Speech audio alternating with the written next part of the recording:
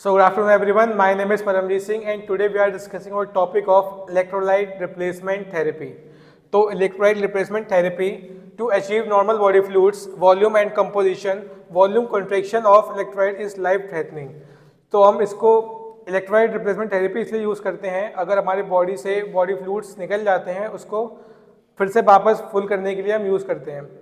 जैसे किसी का एक एक्सीडेंट हो जाता है तो उसकी बॉडी से ब्लड के थ्रू उसके इलेक्ट्रोलाइट्स निकल जाते हैं। तो उसको हम फिर से किसी भी मेडिकेशन के थ्रू इलेक्ट्रोलाइट्स प्रोवाइड्स करते हैं, उसको हम इलेक्ट्रोलाइट रिप्लेसमेंट थेरेपी बोलते हैं।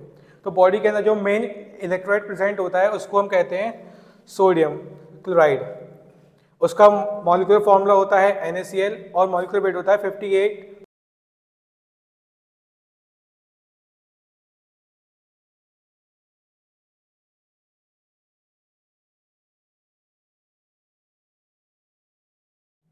सो हमारा मेन इलेक्ट्राइड होता है बॉडी के अंदर, उसको हम बोलते हैं सोडियम क्लोराइड इसका मॉलिकुलर फॉर्मूला होता है NaCl उसका मॉलिकुलर वेट होता है 58.44 ग्राम्स उसकी प्रिपरेशन हम करते हैं, इसको हम by evaporating sea water and rock salt से हम उसको प्रिपेयर करते हैं. उसकी फ़िज़िकल प्रॉपर्टीज़ होती हैं, ये कलरलेस होता है क्रिस्टल्स फॉर्म में और वाइट क्रिस्टाइन पाउडर होता है.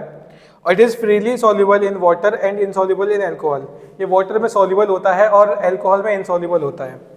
और next point is it is odourless and having saline taste वो स्मेल लेस होता है और उसका थोड़ा सलाइन टेस्ट होता है। अब बात करते हैं इसके यूजेस की।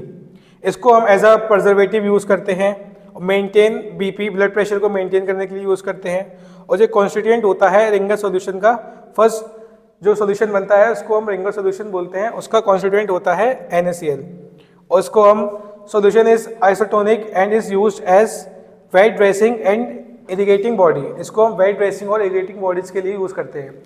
Thank you so much